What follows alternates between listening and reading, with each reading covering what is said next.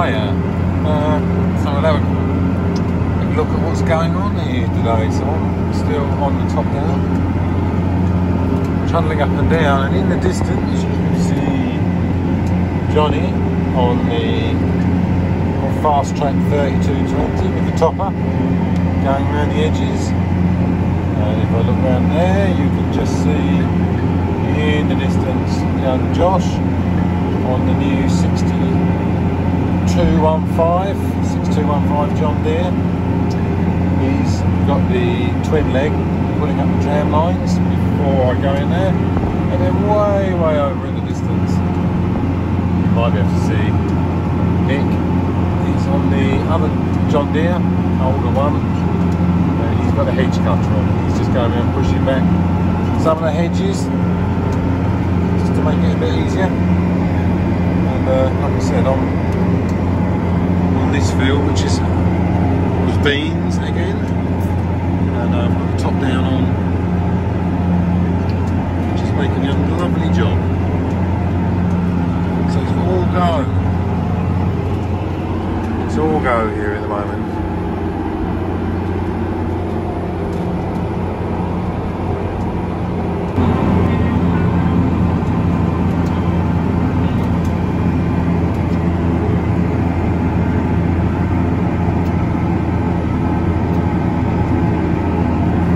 Morning. Well, it's first thing, and uh, I was working on this field last night until about nine, and then breakage time.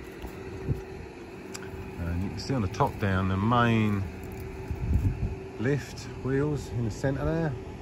They're separated from the frame. So now we're just trying to figure out how to move it off the land and get it back up the workshop for a bit of welding.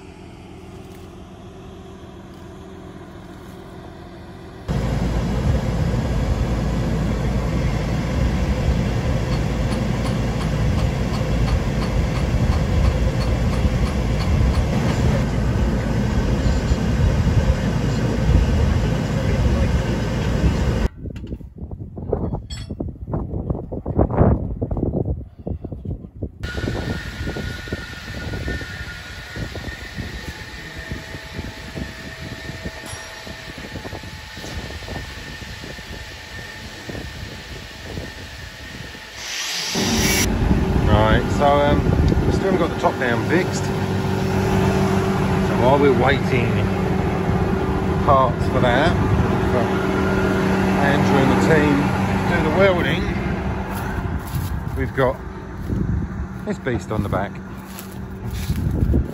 This old gang, which is, I'm just going to take the lock pins out. Good old girl We pulled her out of the undergrowth and I took her for a spin on the field here yesterday and she's doing doing a good job. Although a bit bit well worn. See those discs are pretty smooth now. Just take out this other safety pin.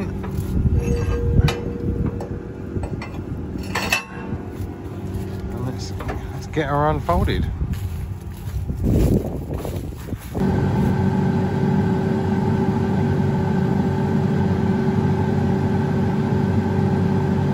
delicate when it comes to unfolding. Like on a lot of these machines, one spool valve controls more than one function. So on here, what I've got set up on another one spool valve is a folding mechanism. And then by changing a couple of valves down on the main frame,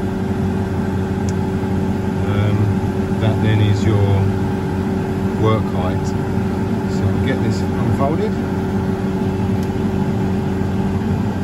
Get the pressure on there. And then what I've got to do, if you come with me for a minute,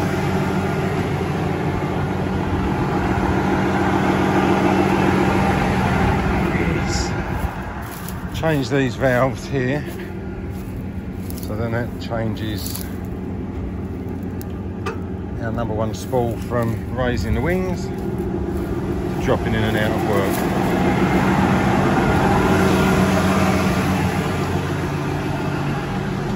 So there she goes, ready to go.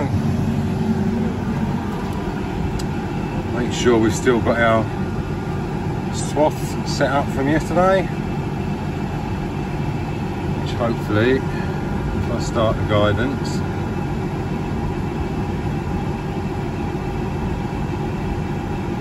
You can see we've still got our swaths from the work I was doing yesterday.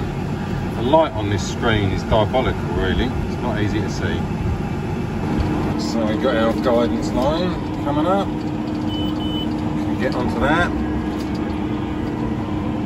And, uh, and she's dropping in quite nice. She tends to drop in a bit slower than the TopDown. I maybe need to adjust the speed on that a little bit because I'm just not quite dropping in as quick as I'd like to. And when I'm coming out I've just got to be a little bit careful where I'm turning out on the headland. Uh, I'm not stressing not stressing the legs of this by turning with them in the ground too much. It seems to be quite a lot different than the TopDown quite the finish the top down gives but still doing well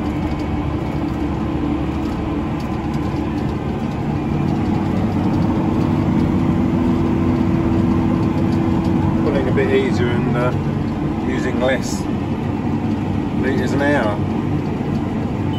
which is always a good thing. So there's the TopDown, waiting for the parts in the field. So as soon as we can, uh, as soon as we get the parts for that, back on the road, back on the field with them anyway.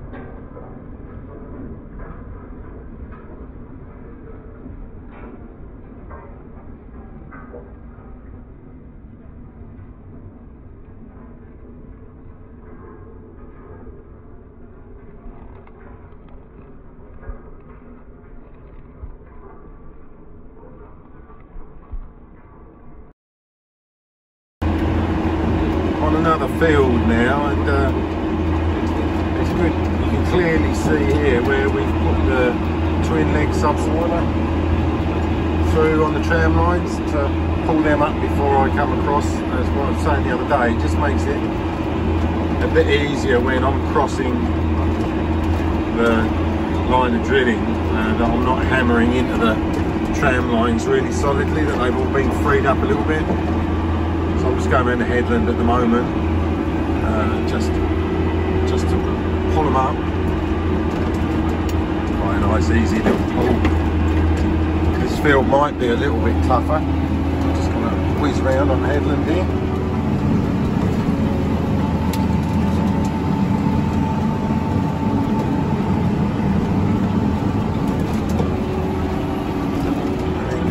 back in about this control, it's just nice and easy, just single button operation on the command stick. Like I said the other day, we've got all these simple controls here, so one hand on the steering wheel when you do need to steer, and everything else is done via this. Obviously on the discs, for example, I've got the main lifting and out of work is on spool one. So spool one corresponds to these pair of buttons here. So uh, quite easily in and out of work on that one. Then I've also got on here, I've got the packers on the back and I can also, which are on hydraulics, and I've also got the points on hydraulics as well on this one. So I can raise or lower them a bit if I need to. Uh, the discs on this one are fixed on the in and out work small one. So uh, once you set up going really, it's pretty pretty straightforward. You can see the job it's doing there. So here I'm just these headland trams, I'm just going over these. So when I'm coming up and down the runs through them, again I'm not hitting them at 90 degrees or a bit of an angle, so I just pulled it, hit it up a little bit. That's quite good It's a lovely day. Turbines are whizzing around nicely.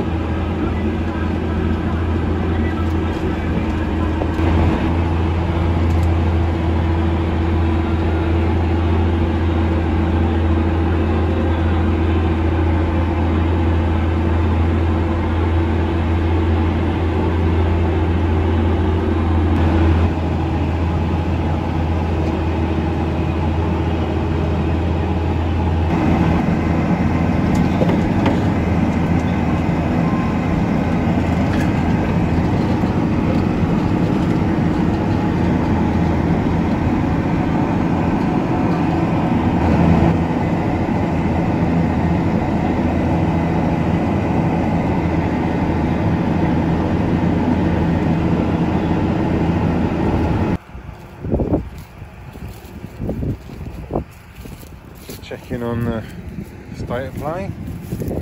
Get out every now and again just to have a look and see how how things are wearing. We've got a lot of wear on the points, but they'll do for now. Front discs,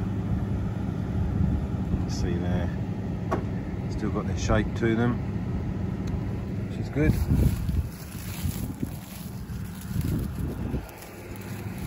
We actually dropped. We dropped the points by a couple of inches just to go a bit deeper into this ground. If you have a look you can see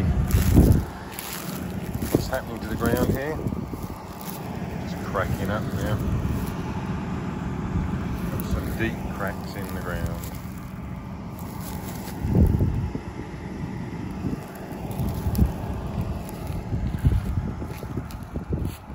It's breaking down nicely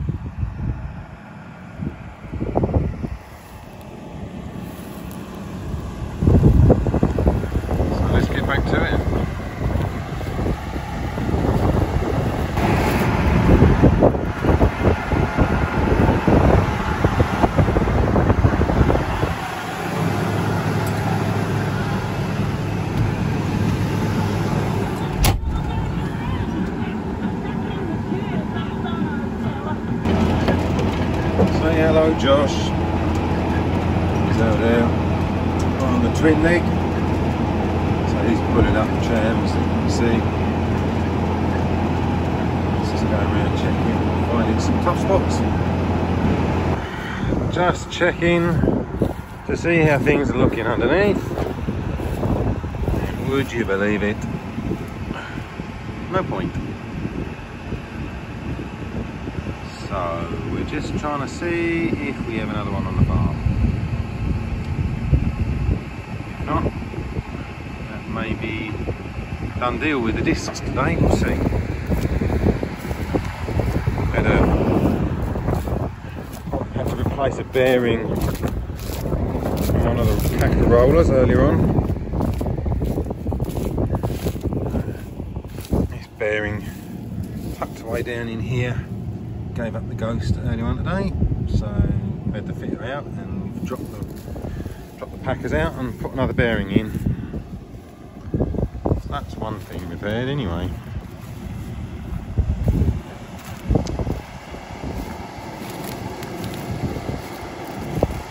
Let's see how much later we can work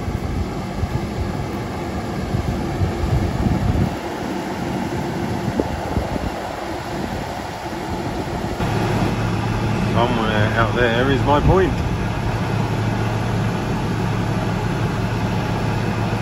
Only it was still attached. Oh well. Time for a cuppa. Right, the master plan is because because this old girl's been sat in the undergrowth for so long, we haven't actually got any legs, any uh, any points. So the alternative solution is to take out this leg and just run run with the others for now. Seems like a plan, doesn't it?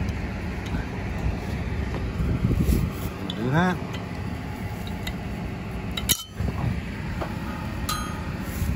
So, in theory, if we tap this in,